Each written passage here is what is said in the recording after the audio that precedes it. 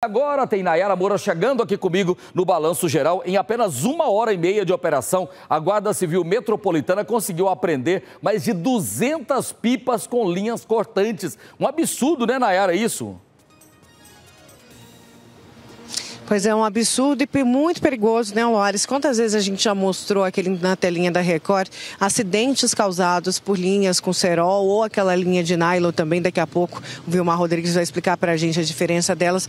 Mas muitos acidentes causando até a morte da pessoa ali, né? Motociclistas, ciclistas, pessoas em parapente, por exemplo. A linha cortou ali a linha do parapente. A gente mostrou esse acidente que teve com o Marcelo no ano passado.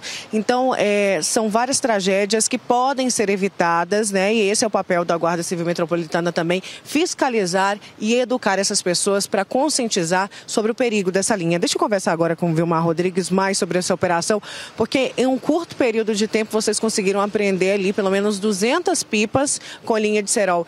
E parece, né, que parece, desculpa, brincadeira, mas que a gente fala assim, disco é arranhado. Todo ano fala-se a mesma coisa. Gente, não, não, não comercializem, não soltem pipa com linha de cerol, mas mesmo assim, né, Vilmar, tem gente que ainda insiste em praticar essa brincadeira, que não é brincadeira não, é muito perigosa. Boa tarde. Boa tarde, boa, tarde, boa tarde, Loares.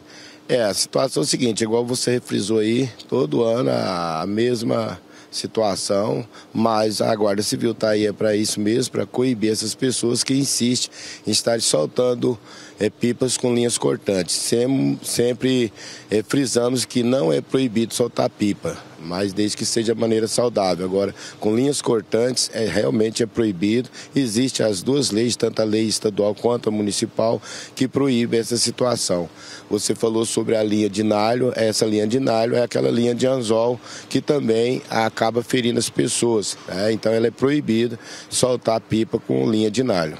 Pois é, essa operação, como que foi? Você estava ali na região do Jardim Novo Mundo e essas 200 pipas, elas estavam para serem comercializadas, vendidas, ou o pessoal estava brincando com elas ali? Não, as pipas, quando elas são apreendidas, já estão, as pessoas já estão soltando. Aquelas que estão para ser comercializadas, não existe ali linhas nela, né, que traz perigo para alguém. Então, quando chega a fazer a apreensão, é porque as pessoas já estavam soltando.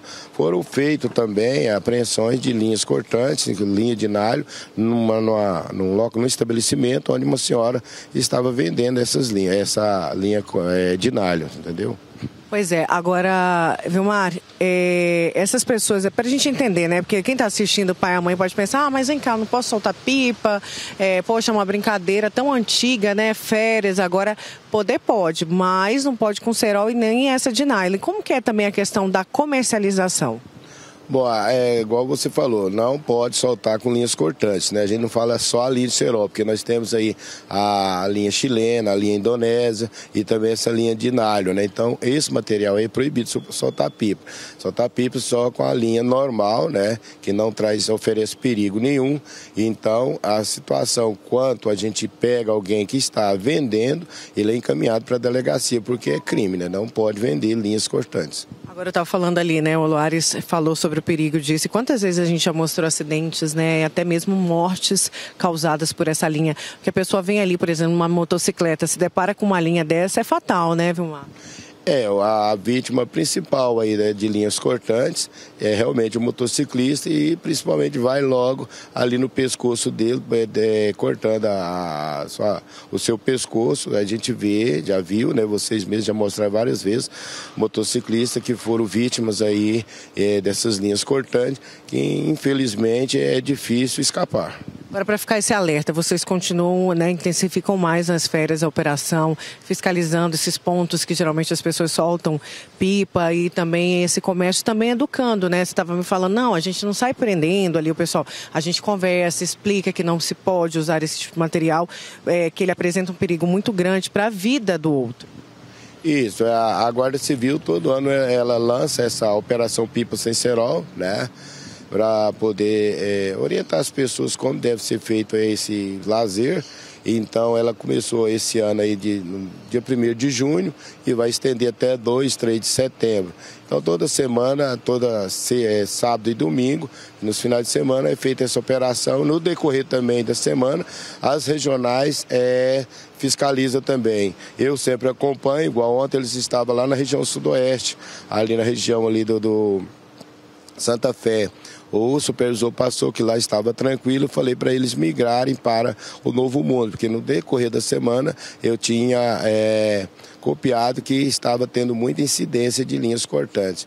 E frisando aí o mais interessante, que a maioria que solta essas é, pipas com linhas cortantes não são crianças, são já adultos. Muito obrigada, viu, pelas suas informações. Parabéns, trabalho aí da Guarda Civil Metropolitana. Agora, Loares, é muito perigoso, né? E fica esse alerta para os pais também olharem o que, que os adolescentes estão fazendo. E como o Vilmar falou, não é só criança e adolescente, não. Muito adulto acaba praticando, acaba fazendo isso, né? Soltando pipa com cerol ou com a, com a linha de nylon, que também é tão perigosa quanto. Então, isso é proibido, é lei municipal aqui em Goiânia. Outras cidades também proíbem, como a Aparecida de Goiânia.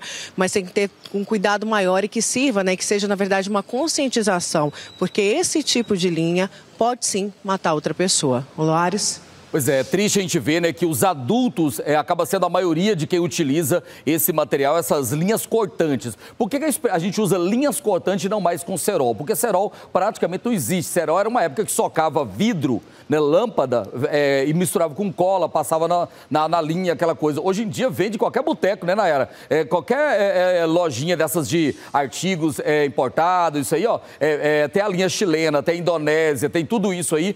isso é muito grave e muito sério sério, não só para as pessoas que estão passando a pé, de moto ou bicicleta, mas também para quem está soltando, já que é, é metal moído, né? A, a linha é, chilena, indonésia, utiliza metal moído. Se bater na, fio, na rede elétrica e pode matar de forma eletrocutada a pessoa que está utilizando ali. Obrigado, Nayara. Obrigado pela informação.